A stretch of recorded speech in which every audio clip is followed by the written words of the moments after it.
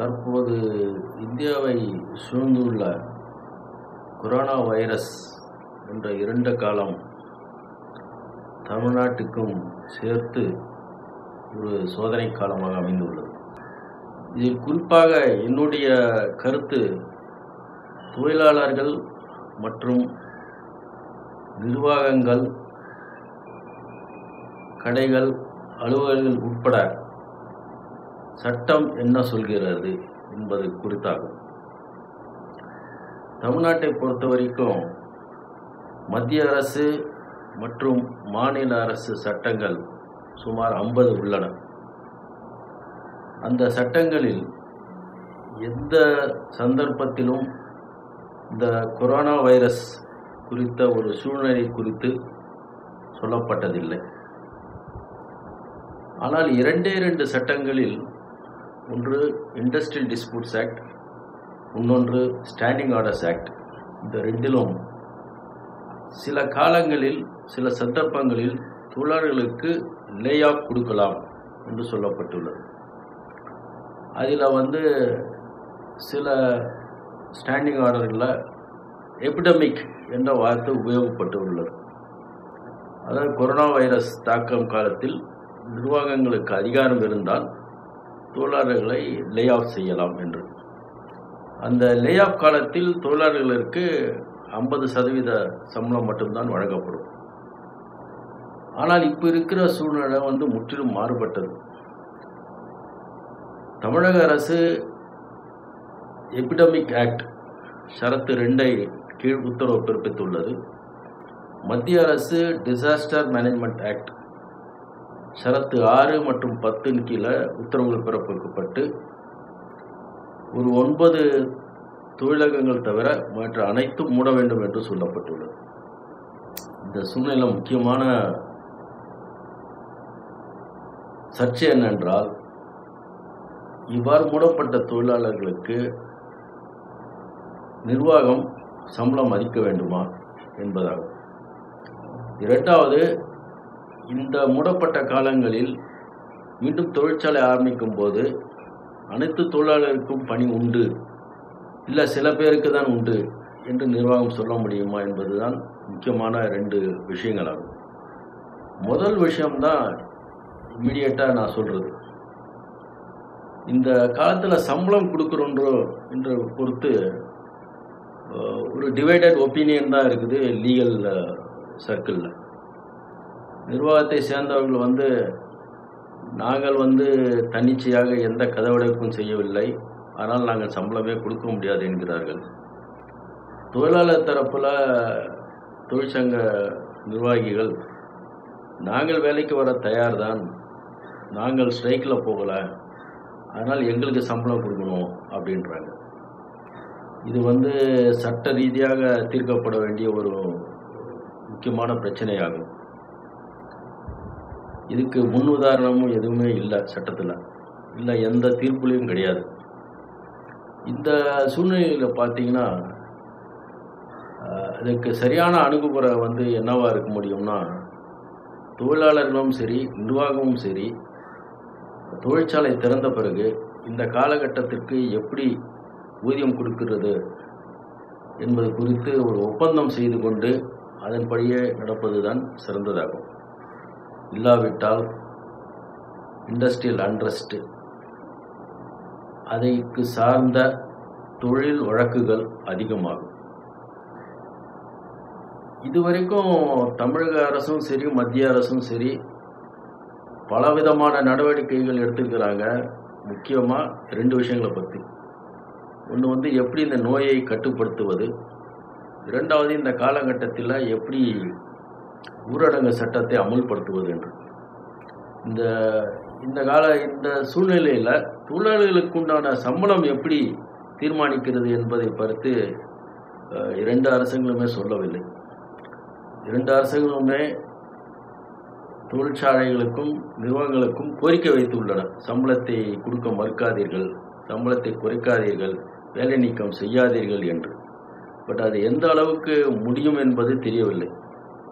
நிர்வாகங்களை பொறுத்த வரைக்கும் இந்த கொரோனா வைரஸ் தொழிற்சாலைகளை மூடுவதற்கு முன்பிருந்தே இந்தியாவில் தொழில் மந்த நிலை இருந்து வந்தது. தொழிற்சாலைகள் பாதிக்கப்பட்டன. அதனால் அவர்கள் முன்வந்து முழு சம்பளம் கொடுப்பார்கள் என்பது கேள்விக்குறியாகும். இதுக்கு அரசு செய்ய வேண்டிய பணி என்னவென்றால் மேலை நாடுகளில் வளர்ச்சியடைந்த நாடுகளில் முன்னுதாரணம் இருக்கிறது. இந்த கொரோனா வைரஸ் காலத்தில் கனடா நாட்டில் இரநூத்தி நாற்பத்தி ஏழு டாலர் வரைக்கும் தொழிலாளர்களுக்கு சம்பளத்தை அரசாங்கமே கொடுக்க முன் வருகிறது. ஆனால் அது யாருக்கு கொடுக்கப்படும் என்றால் முப்பது சதவீதம் டிஃபிஷியன்சி இன் ரெவென்யூ இருக்கிற தொழிற்சாலைகளுக்கு அது கொடுக்க முன் வருகிறது. அதே போல் டென்மார்க்கில் எழுபத்தைந்து சதவீத ஊதியத்தை தர அரசு முன்வருகிறது ஆனால் அதிகபட்சமாக மூவாயிரம் ஈரோக்கள் தரும். யுனைடெட் கிங்டம் பிரிட்டனில் எண்பது சதவீதத்து கடைசியாக பெற்ற சம்பளத்தில் எண்பது சதவீதத்தை ஊதியத்தை அரசு கொடுக்க தயாராக இருக்கிறது. ஆனால் அதில் உச்சகட்டம் வந்து ரெண்டாயிரத்தி ஐநூறு பவுண்ட். மிக அருகில் உள்ள சிங்கப்பூரில் ஏப்ரல் மாதத்துடைய சம்பளத்தில் எழுபத்தைந்து சதவீதத்தை அரசு தள முன்வருகிறது. ஆனால் அதுக்கும் உச்சவரம்பு நாலாயிரத்தி ஐநூறு சிங்கப்பூர் டாலர். இந்த முன்னுதாரணங்களை வைத்துக்கொண்டு தமிழக அரசும் மத்திய அரசும் நிர்வாகங்களுக்கு ஏதாவது ஒரு சலுகை கொடுத்தால் இந்த பிரச்சனை சுமூகமாக முடியும். இரண்டாவது தொழிற்சாலைகளை திறந்தவுடன் தொழிற்சாலைகள் அலுவலர்கள் இல்லாட்டி கடைகள் நிறுவனங்கள் திறந்தவுடன் அனைத்து பேருக்கும் உடனடியாக வேலை தர முடியுமா என்றால் சாத்தியமே இல்லை. ஏனென்றால் தொழிற்சாலை முடங்கி போனதனால் அதை திருப்பியும் ரீஸ்டார்ட் பண்ணுறதுக்கு நிரந்தர தொழிலாளர்கள் இல்லது டைரக்ட் லேபரை வைத்து ஒரு ஒரு வாரம் பத்து நாளுக்குள்ள தொழிற்சாலையை பழைய நிலைமைக்கு இயக்கிறதுக்கு முடியும். ஆனால் இயக்கின உடனே முழுவீச்சில் தொழிற்சாலைகள் நடக்குமா என்பது கேள்விக்குறி. ஏனால் அவர்கள் யாரை சார்ந்து இருக்கிறார்களோ அந்த தொழிற்சாலைகள் முழுவீச்சில் ப்ரொடக்ஷனை ஆரம்பிக்க வேண்டும். அப்போது தான் இவர்கள் கொடுக்க முடியும். ஃபார் எக்ஸாம்பிள் ஹுண்டாய் கம்பெனி இருக்குன்னா அதை சுற்றி ஒரு இரநூறு சின்ன கம்பெனிகள் இருக்குது ஹுண்டாய் ஆரம்பித்தாலும் உடனடியாக இந்த இருபது இரநூறு சின்ன கம்பெனிகளும் உடனடியாக ப்ரொடக்ஷனை முழுவீச்சில் நடத்த முடியாது. அதே போல தான் எந்த ஆஃபீஸு கமர்ஷியல் எஸ்டாப்ளிஷ்மெண்ட்ஸும் ஸோ இதுக்கு ஒரு கெஸ்டேஷன் பீரியட் கண்டிப்பாக இருக்கும். இதுக்கு direct employees technical employees officers உடனடியாக வேலைக்கு சேர வாய்ப்பு இருக்குது பட் இந்த indirect labour which is the கணிசமாக which is the largest percentage of workmen in India today அவங்கள வந்து கண்டிப்பாக படிப்படியாக தான் வேலைக்கு அமர்த்த முடியும். ஃபார் எக்ஸாம்பிள் ஒரு கான்ட்ராக்ட் லேபர் சுத்தம் செய்கிறது லோடிங் அன்லோடிங் செய்கிறது டிரான்ஸ்போர்ட்டேஷனு அவங்கெல்லாம் கொஞ்ச நாள் கழித்து தான் அவங்களுக்கெல்லாம் வேலை கிடைக்கும். உடனடியாக வேலை கிடைக்க வாய்ப்பில்லை. அதே மாதிரி சர்வீஸ் ப்ரொவைடர்ஸ் அந்த தொழிற்சாலை தொழிலாளர்களுக்கும் கொஞ்ச நாள் கழித்து தான் கிடைக்கும். லாஜிஸ்டிக்ஸ் கேன்டீன் இதெல்லாம் கொஞ்ச நாள் கழித்து தான் வேலை கிடைக்கும். அந்த காலகட்டத்தில் எப்படி சம்பளம் கொடுக்கறதுன்றது அதுவும் ஒரு கேள்விக்குறியாக தான் இருக்கும். சந்தேகமே இல்லை. ஆனால் எல்லா இன்டைரக்ட் லேபருக்கும் உடனடியாக வேலை கிடைக்கும் என்பது சாத்தியமே இல்லை. அவங்க வந்து அவங்க டேர்னுக்கு வெயிட் பண்ணி தான் ஆகணும். முக்கியமாக இன்னொரு விஷயம் என்னென்னா பல பேர் migrant labour which is the largest chunk of contract labour in Tamil Nadu today அவங்களாம் இந்த அந்த ஊரில் தொழிற்சாலையில் இருக்கிறாங்களா இல்லை வெளியே விட்டு போயிட்டாங்களான்னு தெரியல. அந்த லேபரை திருப்பியும் தொழிலகங்கள் வந்து மொபிலைஸ் பண்ணி தொழிற்சாலைக்கு கொண்டு வர்றதே ஒரு பெரிய சவாலாக தான் இருக்கும் அதனால் ரெண்டு விஷயத்தையும் என்னுடைய கருத்து என்னென்னா இந்த கொரோனா வைரஸ் லாக்டவுன் பீரியடில் சம்பளம் வந்து தொழிலாளருக்கு உறுதியா என்பது கேள்விக்குறி.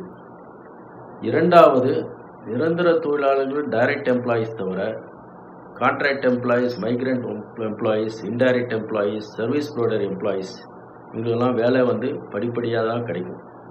என்னுடைய கணிப்பு பிரகாரம் இந்த சகஜ நிலைமை அடைகிறதுக்கு எப்படியும் இன்னையிலிருந்து ஆறு மாதம் இல்லை ஒரு வருஷம் ஆகும். ஆனால் தொழிலாளர்களை பொறுத்த வரைக்கும் வேலை இழப்புன்றது கணிசமாக இருக்கும். அதை வந்து அரசு எப்படி அதோடைய இயந்திரத்தை கொண்டு சமரச பேச்சுவார்த்தை நடத்தி அந்த சர்ச்சைகளை குறைப்பது என்பது அரசு கையில் தான் இருக்குது இந்த சகஜ நிலை வராமல் இண்டஸ்ட்ரியல் அண்ட்ரஸ்ட் இல்லாமல் தொழில் அமைதி காக்கப்படும்னா கண்டிப்பாக நிர்வாகம் தொழிற்சங்க பிரதிநிதிகள் அரசு அலுவல்கள் எஸ்பெஷலி லேபர் டிபார்ட்மெண்ட்டை சார்ந்த அலுவல்கள் முத்தரப்பினரும் பேசி ஒரு சுமூகமான முடிவுக்கு வந்தால் கண்டிப்பாக இந்தியா வந்து தொழிற்சாலை உற்பத்தியை சகஜ நிலை அடைவதற்கு ஒரு ஆறு மாதத்துள் ஒரு வருஷத்துக்குள் அடைகிறதுக்கு வாய்ப்பு உண்டு.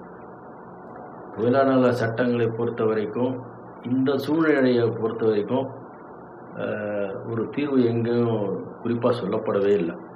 இது வந்து ஒரு அன்பிரசிடென்டட் சுச்சுவேஷன் இது வந்து சட்ட மூலமாக விடை காண்றது அவ்வளோ எளிதல்ல. அதனால் சமரசமாக பேசி முடிவுக்கு தான் மிக சிறந்த வழி என்பது என்னுடைய தாழ்மையான கருத்து. நன்றி.